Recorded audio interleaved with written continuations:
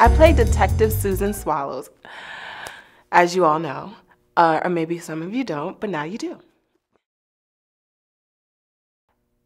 I would say she is a strong go-getter who, once she has her her mindset, she's all about that one thing, which is finding and tracking down Paulie Pastrami.